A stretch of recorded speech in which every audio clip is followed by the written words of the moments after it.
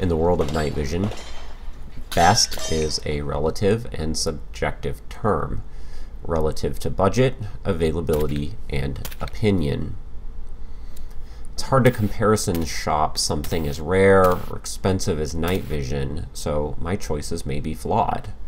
It's also likely that today's tip of the spear operators are being deployed with better night vision than us civilians are even aware of. In the world of night vision, you can't really go into a retail store and simply try on a few dozen different sets of night vision, figure out what's going to work for you, and then also get a price that you'd be happy with. So I bought the ATN PS31 3W Gen 3 white phosphorus with my own personal funds and I paid a normal price. Like most people about to spend a significant amount of money on a product, I spent a lot of time on research before making my final decision. For the uninitiated, night vision may seem fairly simple. Put on the tubes, look cool, see in the dark. However, the deeper you dive into the world of seeing stuff in the dark, the more you realize how complicated these decisions can be. Factors like weight, cost, and performance all come into play. The decision is very complex. The first thing to understand is that housings are not the same as image intensifier tubes. The ATN PS31 is available with several different intensifier tube options, ranging in price from around 4300 MSRP at the entry level all the way up to 7500 MSRP for the highest quality tubes that ATN offers. Intensifier tubes take in whatever tiny amount of ambient light is available and they amplify it such that the human eyes can see it. In addition to visible light, these fascinating devices can also detect light waves in the infrared spectrum, which is normally invisible to humans. PS31 is a polymer BNVD housing made by ATN Corp that has adjustable eye spacing. While similar looking to the much more expensive PVS31, ATN's entry into the dual tube market has some noticeable differences. The PS31 has a built-in IR illuminator, the PVS does not. It has adjustable diopter and also has automatic gain, all unlike the PVS31. Of course, these features do make the ATN unit weigh a bit more. The PVS31 is about three and a half, three and three quarters ounces lighter than the ATN PS31. So what were my first impressions on the PS31? I love the ATN PS31's image clarity, and I also appreciate the easy to use controls. I like that the unit has a wide angle 50 degree field of view.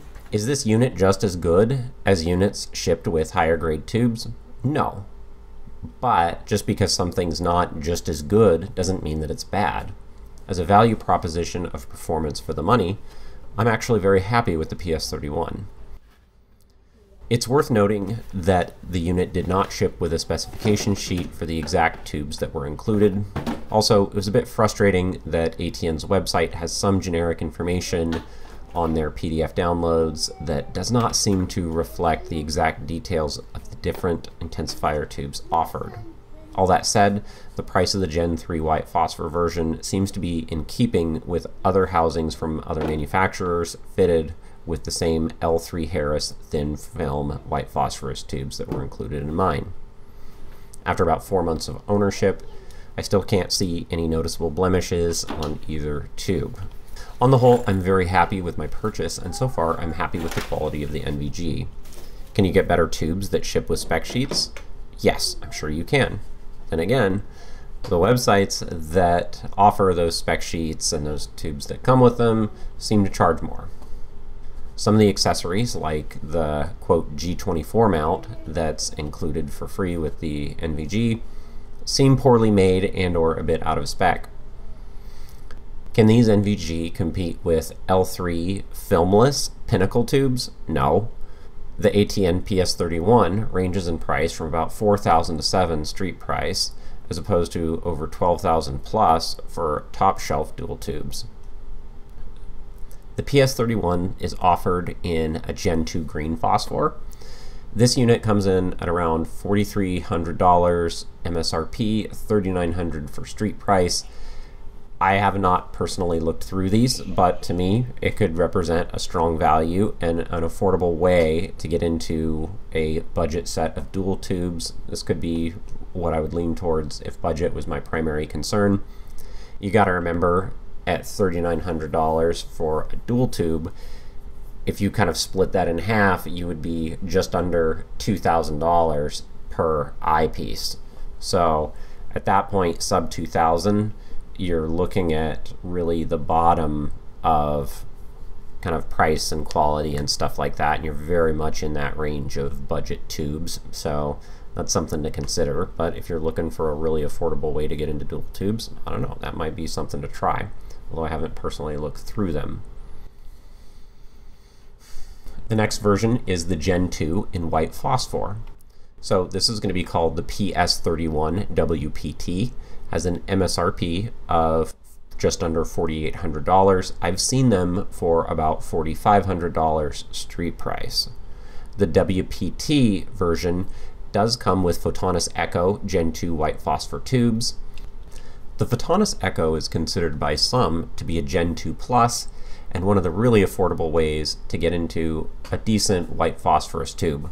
Another YouTube creator, who I'll just call Hop because I don't want to butcher his name, he also lives in the Portland area, although I don't know him, has a good video on these tubes.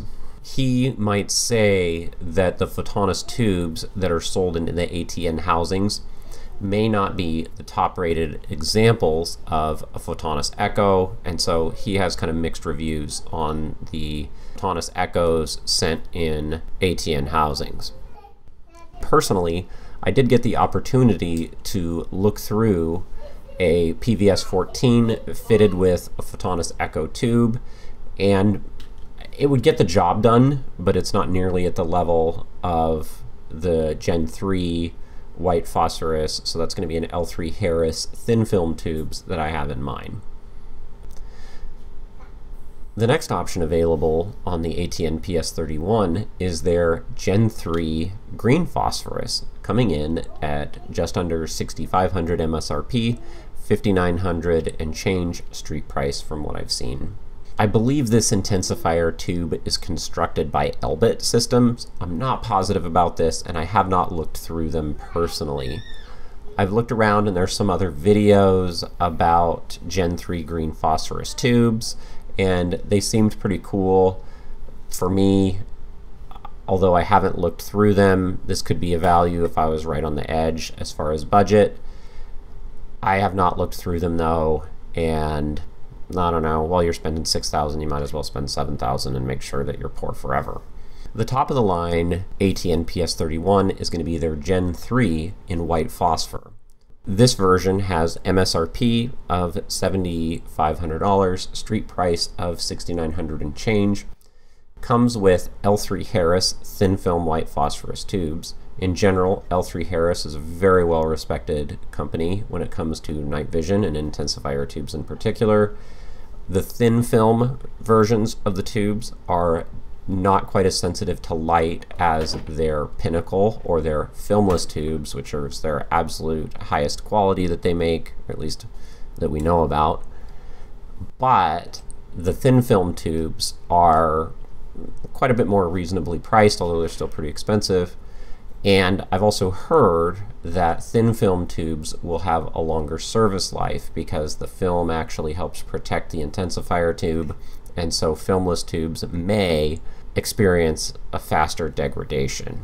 So that's something. You spend twelve to thirteen thousand dollars on NVGs with these Pinnacle filmless white phosphor tubes, and your tubes are going to wear out faster. So that's that's kind of a bummer. So for me, the thin film tubes were pretty cool. Let's talk about diopter, gain, and focus.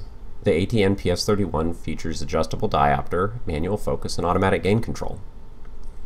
Adjustable diopter means that the image can be adjusted to correct for variation in human vision the same way that prescription glasses or contacts do. For a unit to be used by civilians, this feature makes sense. Using the diopter, I can more easily let friends try out the NVG, and they can adjust it to better match each wearer's eyes. That said, I can see why it makes sense for the PVS 31 to do away with adjustable diopter because it would save a few ounces, and your Spec Ops commando can simply have the diopter set for them at the factory. I have mixed feelings about the automatic gain control.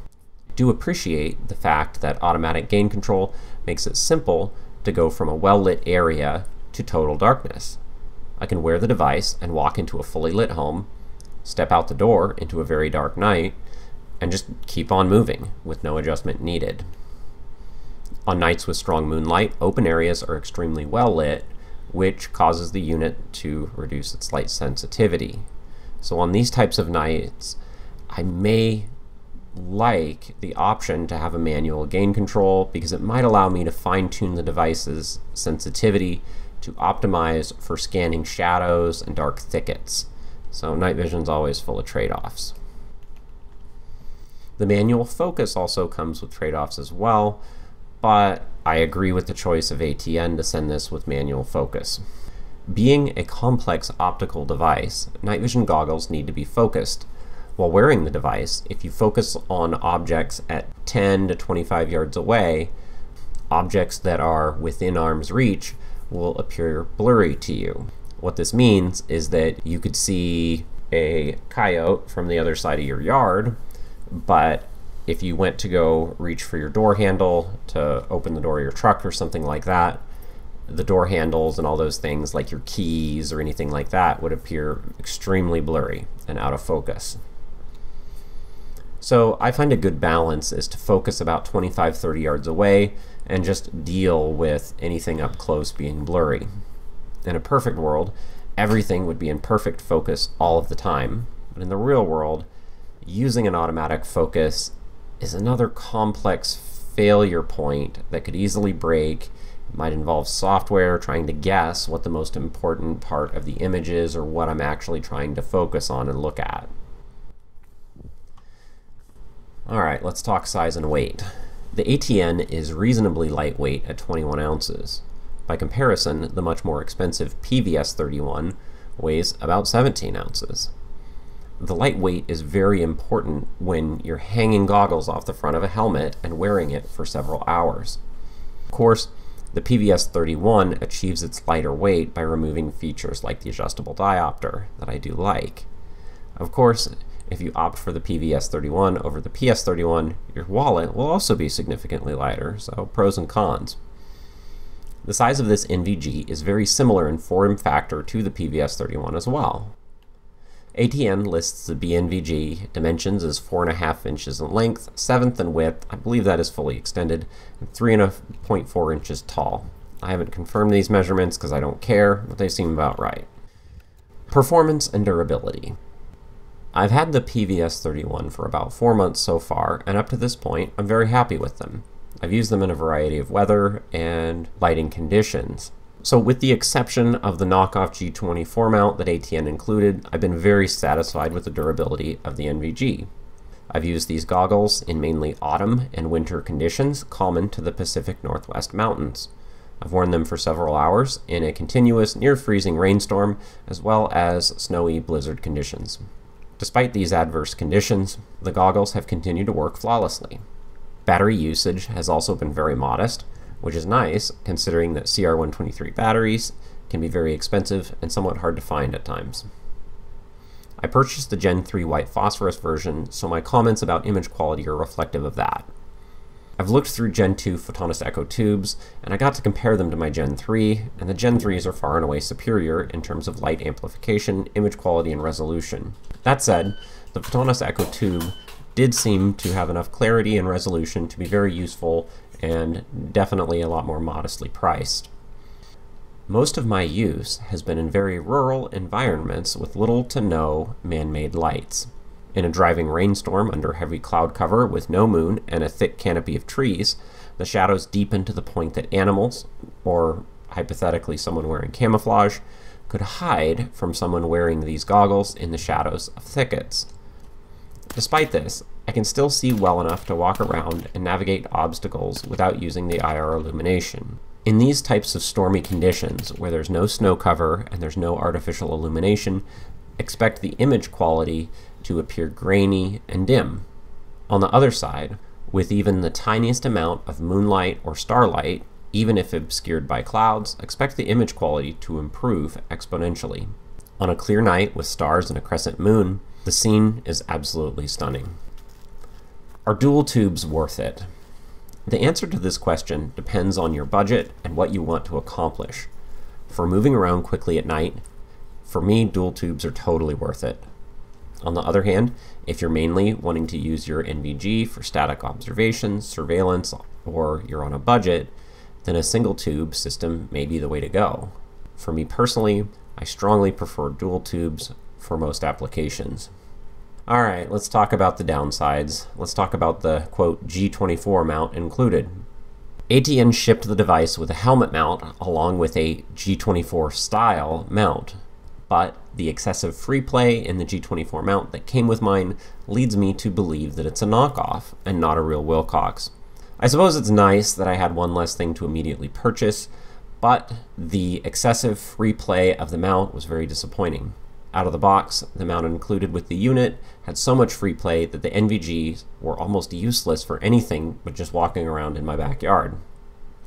The knockoff G24 has tension screws that can be tightened down to limit the floppiness, but when you do tighten those screws down, it makes the flip-up feature and the eye relief adjustment of the mount non-functional.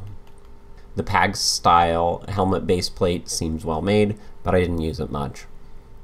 After tightening down the tension screws on the knockoff G24, it does a passable job of stabilizing the goggles so long as you don't want to use the mount to flip them up. As an alternative, I've been flipping the tubes up in a gullwing fashion when I need them out of the way for an admin task or something like that. Overall, it might make sense to use the included mount to get started, but if you're already spending real money, you're eventually going to want a real Wilcox. Final thoughts. I'm very happy with the performance per dollar of the PS31. So far, so good. This unit is an affordable way to get into the dual tube game, and I appreciate the options of the various tubes at different price points. I'm really happy with the performance in low light conditions of my Gen 3. Having night vision is a game changer, and I'm really just excited to own the night, or at least own a little piece of the night, or rent the night, or, or whatever the cool kids are saying. I do believe that the ATN PS31 just might be the best night vision goggles for the money. And if you like this video, don't forget to like and subscribe and all that.